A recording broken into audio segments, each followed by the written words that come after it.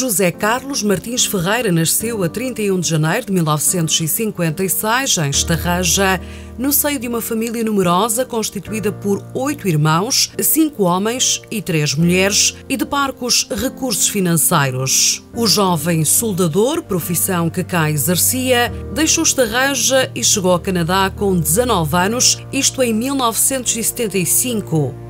Até essa idade nunca tinha entrado num restaurante. Nesse ano, o pai, que foi visitar o irmão, que já estava emigrado, decidiu mudar-se para o Canadá à procura de uma nova forma de vida. E foi precisamente o Canadá que mudou a vida de Carlos Ferreira. Fez o que faziam muitos portugueses quando chegavam: lavar pratos. Vieram os anos da fábrica de metal e de construção de hidráulicos, exercendo a profissão de soldador que levara na bagagem quando deixou Portugal. Ter dois trabalhos era comum na altura para quem se aventurava como imigrante, por isso continuava a lavar pratos e a servir à mesa em restaurantes à noite, isto sete dias por semana, durante 15 anos. A soldadura deu lugar à restauração quando se tornou ajudante de pasteleiro. Passou por uma pastelaria belga, na qual era responsável pela distribuição vendas e relações públicas.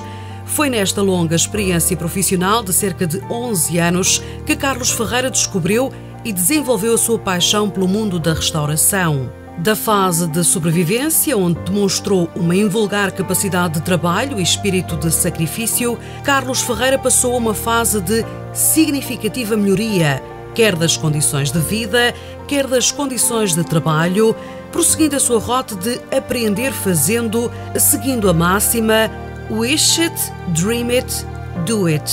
Acredita que toda a gente pode realizar os seus sonhos, mas nada se faz sem trabalho, disse recentemente no programa da RTP, Portugueses pelo Mundo, onde revela o seu segredo: querer, vencer e ser melhor.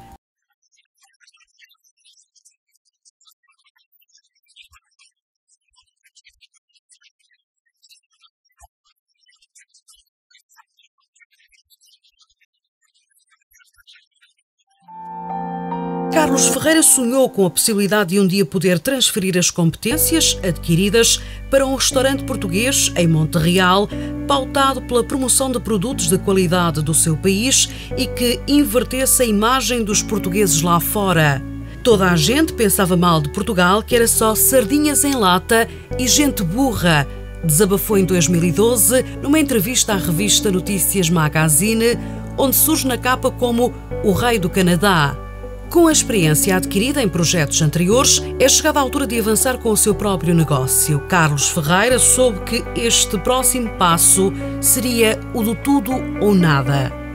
A certeza que tinha na qualidade dos produtos portugueses e o seu infinito inconformismo pelo facto dos mesmos serem praticamente desconhecidos, a sua crença em que tudo o que se quer com alma e coração acaba mesmo por acontecer na altura própria, a sua filosofia de liderança, a sua forma de enfrentar obstáculos, encarando-os como desafios, a habilidade em contornar os conflitos sem os ignorar, estão na base do ímpar sucesso empresarial que alcançou. O Ferreira Café, na Rua Pelo, no coração de Montreal, abriu portas em abril de 1996, dando corpo ao projeto tripular de Carlos Ferreira. Gastronomia, vinhos e assinaturas culturais portuguesas. Há andorinhas de Rafael Bordal Pinheiro na parede, uma carta de vinhos com cerca de 400 ofertas, quase todas portuguesas, e peixe que chega diretamente de Portugal. Dos cerca de 60 funcionários que integram o quadro de pessoal deste estabelecimento, 40 são de origem portuguesa. Esta é a joia do seu império e o ponto de encontro de alguns dos nomes mais influentes da sociedade do Quebec. É o restaurante de referência da cidade por onde já passaram clientes famosos como Mick Jagger, Nicolas Cage, Morgan Freeman ou Pierce Brosnan. Mais tarde, Carlos Ferreira expandiu os seus negócios com a abertura de outros três restaurantes: Café Vasco da Gama, Taverne F e Campo. Para além dos negócios na área da restauração, a família possui uma quinta no Douro, onde produz vinho e azeite para consumo nos seus estabelecimentos. No coração do Grupo Ferreira existe uma família que trabalha incansavelmente para cimentar a sua admirável reputação no negócio da restauração. Nesse núcleo estão as suas duas filhas, Sandra Ferreira, diretora de operações do Grupo Ferreira, e Cláudia Ferreira, responsável pelo projeto Portugal Gourmand, que tem por objetivo divulgar os produtos portugueses e seus produtores além fronteiras. Cada projeto está enraizado nos valores familiares, onde a tradição e a modernidade coexistem harmoniosamente numa atmosfera única, onde a clientela se sente em família. Para além de diversos reconhecimentos pelo trabalho que desenvolve na difusão e promoção dos vinhos portugueses no Canadá, Carlos Ferreira foi eleito como Personalidade do Ano na Gastronomia pela revista Wine em 2014.